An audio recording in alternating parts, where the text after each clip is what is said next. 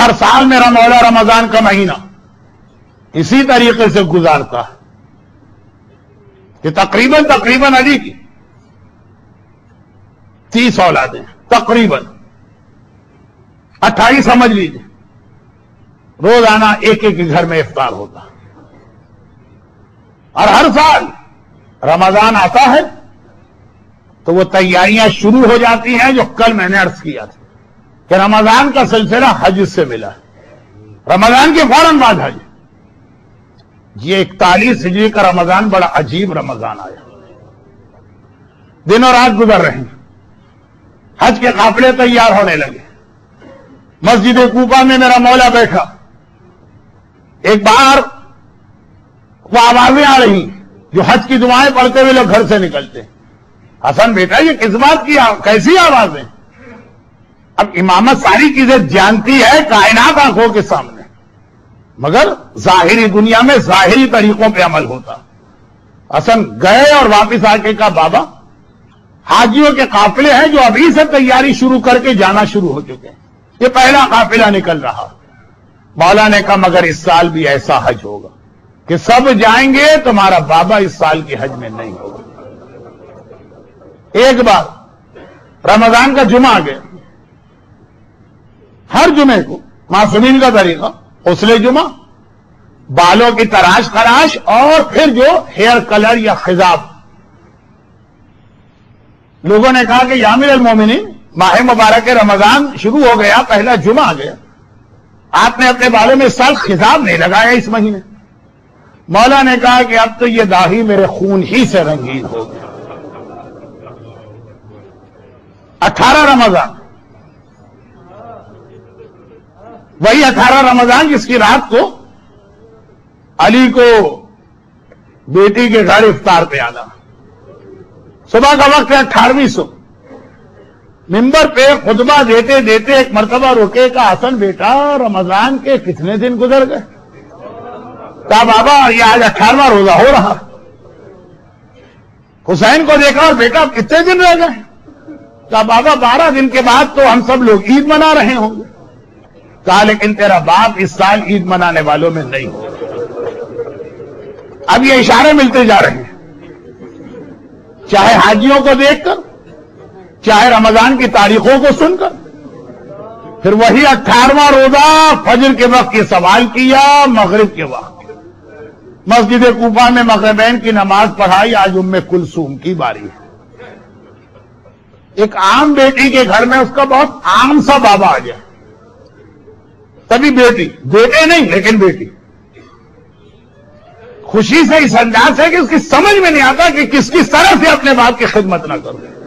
कुलसूम जैसी साहेब मारिफत बेटी। ठीक है, करबला में।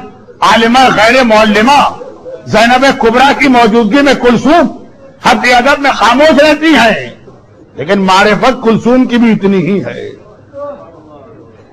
करबला का जिहाद अगर शुरू किया जैनब के खुद बाद में तो खत्म कुलसूम के नौहे ने किया था ना कि मदीना तो जद्दना ला तकबलीना।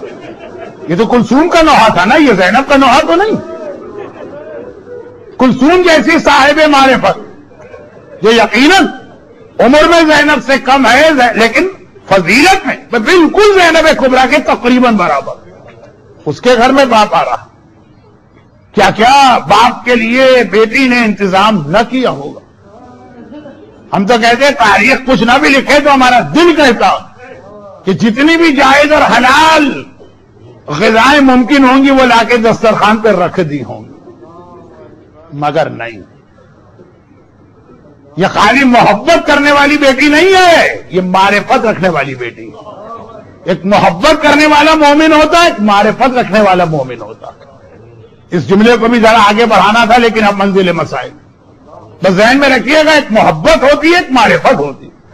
मोहब्बत रखने वाली बेटी तमाम हलाल गजाएँ जो कूपे में मुमकिन है, लाके दस्तरखान पे रख देती बाबा आया। लेकिन मारिफत रखने वाली बेटी, दस्तरखान पे सिर्फ़ और सिर्फ़ तीन चीज़ें ला के रखी गई। एक दूध का गिलास या दूध का प्याला, एक नमक का टुकड़ा और एक रोटी। लेकिन अली ने इस दस्तरखान को भी देखा। एक मरतबा कहा कुलसूम बेटी, तुझे याद है कोई ऐसा दिन है मेरी ज़िंदगी जब तेरे बाप ने अल्लाह की दो नेमतों को एक साथ जमा किया? ये नमक और दूध इनमें से एक गिजा को उठा लेना। कुलसुम साहिब मारिफत हैं, आज तो दूध का प्याला उठा लिया। लेकिन कल नहीं उठाएँगे, आने वाली कल। वो इंशाल्लाह कल के मसाहब है जो अभी अभी आपने ब्रदर रिजवान मंजी के मरफिए में सुन ली। आज एक बार दूध का प्याला उठा लिया, सिर्फ़ एक रोटी और नमक का एक टुकड़ा। मगर, अली ने अपने इस दस्तरखान को जो इफ्तार का दस्तरखान है, इसे भी तबलीग का ज़रिया बनाया। खाली ये ना कहा कि अली के लिए है, आसमान को देखा और एक अजीब जुमला का इन दुनिया, अम्मा पी हराम हा एकाब व पी हलाल हिसाब, व पी शुभात हा इताबुन। दुनिया बड़ी अजीब जगह है, यहाँ की हराम चीज़ें इस्तेमाल करो तो सजा। और हलाल चीज़ें इस्तेमाल करो, तब भी हिसाब किताब तो देना पड़ेगा। खाली ये नारा ना लगाओ कि मौलाना ये हमने नए मॉडल की गाड़ी हलाल पैसे से खरीदी है। ये इतना बड़ा मकान और विला हमने हलाल पैसे से बनाया। हलाल का नारा लगा के हर चीज़ इस्तेमाल नहीं हो सकती, अली ने आज की रात को बताया। फ़ी हलाल हा हिसाबुन व फ़ी शुभात हा इताबुन। और जो मशकूक की चीज़ें हैं, उसमें भी खुदा की नाराज़गी है। मौला दुनिया से जाते जाते उस दुनिया की हकीकत आपको बता गए। जिस दुनिया को खुद तो पता नहीं कब तीन तलाके दे चुके। और उसके बाद अली का अली का मुसल्ला पीछा। हम और आप तो सिर्फ़ शब कदर की वजह से की वजह से सारी रात नमाजें पढ़ेंगे। अली के साल की हर रात शब कदर।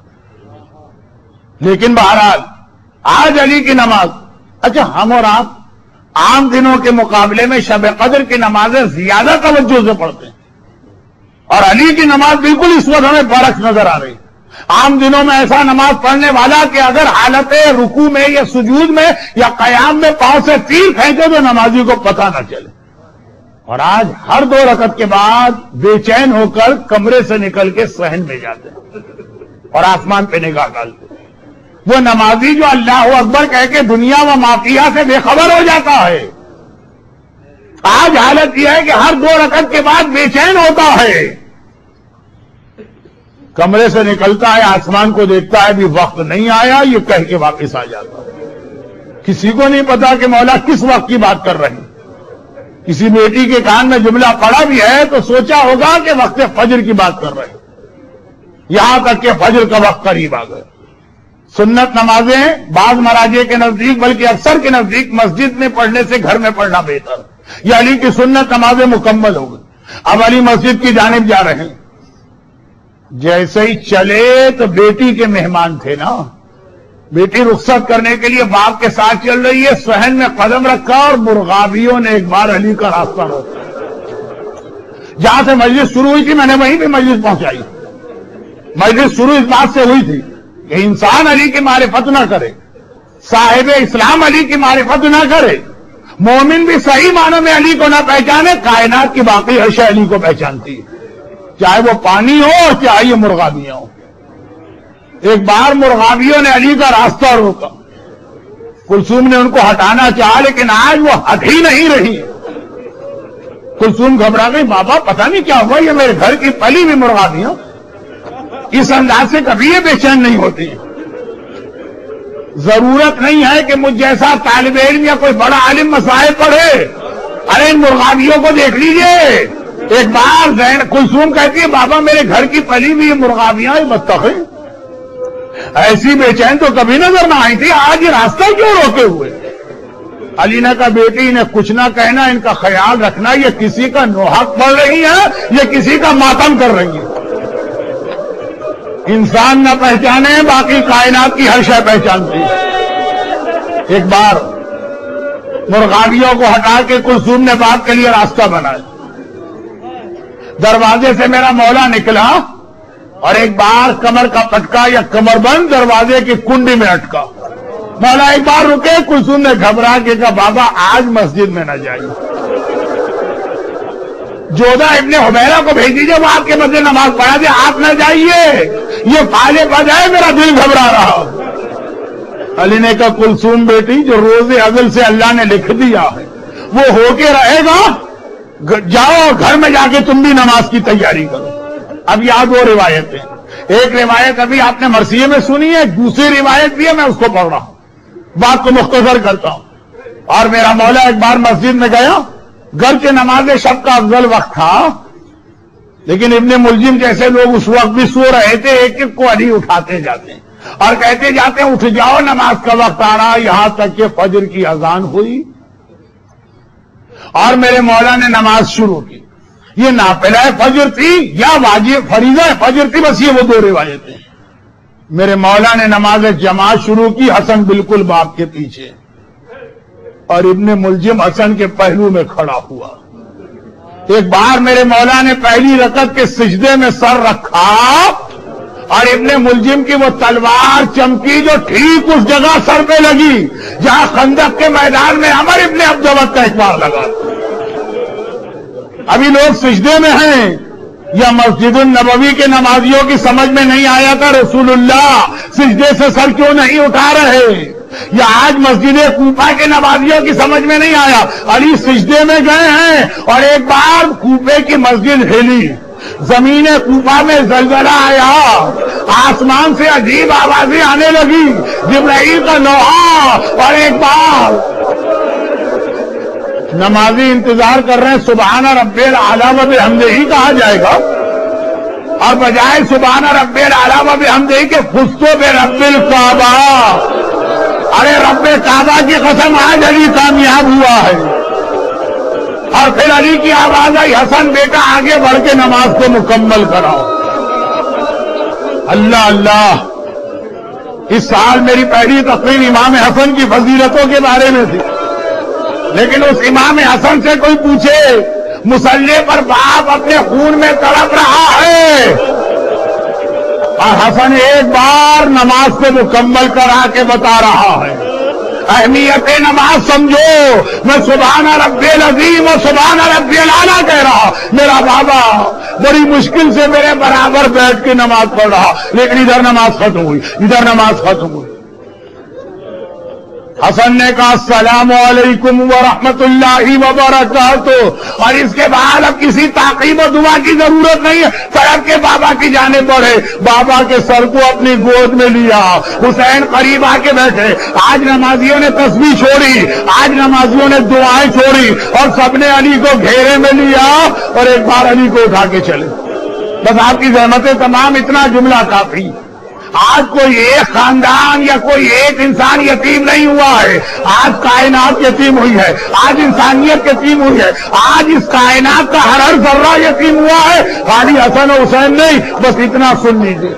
जैनब आलिमा गैर मौलिमा कुलसूम जैनब ही की छोटी बहन। दोनों बहनें अभी मुसल्ले पर फजर की नमाज़ खत्म करके बैठी है। एक बार जैनब ने घबरा के कहा, कुलसुम बहन, अरे ये कूपे में क्या हो रहा है? ये जलजला कैसे आया? ये आंधियाँ कैसे चली? अरे जिब्राइल, किसका मरसिया पड़ रहा? अरे मैं तो अम्मा फातिमा के रोने की आवाज़ सुन रही, कुलसुम। मेरी माँ क्यों रो रही है? अरे अम्मा रो रही, खुदा है मेरा बाबा खैरियत से हो। दोनों बहनें दरवाजे के करीब आई। अजीब ज़िंदगी है जैनब की। आज कूबे में परेशान है। जलजला आंधिया जिब्राइल का मरसिया फातिमा के रोने की आवाज़। अरे कोई मुझे बताए मेरा बाबा किस हाल में है? और कल कल, कल करबला में भी यही मौका होगा। खेमे के पर्दे को पकड़ के खड़ी है। ज़मीन में जलजला तो है। आंधिया तो चल रही हैं। अम्मा के रोने की आवाज़ आ रही। है लेकिन आज फिर भी हसन और हुसैन है। कल कोई खबर लाने वाला न था सिवाय जुलजना के। दोनों बहने, वही घर अली का जो अभी आप स्क्रीन पे देख रहे थे, जिसकी तस्वीर, बहने दरवाजे के करीब खड़ी है। दरवाज़ा जरा सा खोला और बाहर देख रही है, कोई मस्जिद कूपा से आने वाला। हमें खबर तो दे दे, एक मरतबा देखा, अरे भैया, हसन भैया हुसैन बाबा को लेके आ रहे। घबरा के कहा कुलसूम बहन ये मेरा बाबा चल के गया था। वापिस हसनैन की गोद में क्यों आ रहा है? इतने सारे चाहने वाले साथ क्यों हैं? और जैसे ही जैनब की निगाह बाप के चेहरे पे पड़ी, अब जैसे जैसे अली करीब आए, चेहरा नज़र आता गया। चेहरे पे पड़ी, अरे बाप के चेहरे पे वो जर्दी नज़र आई। एक जुमला सुनिए।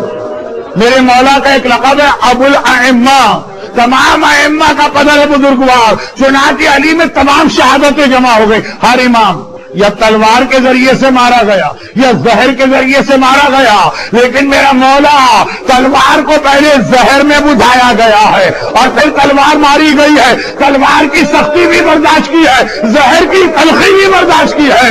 मेरा मौला, इस हालत में है, जैनब ने घबरा के फरियाद की, बाबा, अरे मेरा बाबा, अरे क्या हम यतीम होने जा रहे हैं? बस। मस्जिद कूफा से मेरा मौला गशी के आलम में आ रहा है। जैसे ही जैनब की आवाज़ कान में आई, मेरे मौला ने तड़प की आँखें खोली। हसन बेटा, हुसैन बेटा, ये और कौन लोग तुम्हारे साथ साथ आ रहे हैं?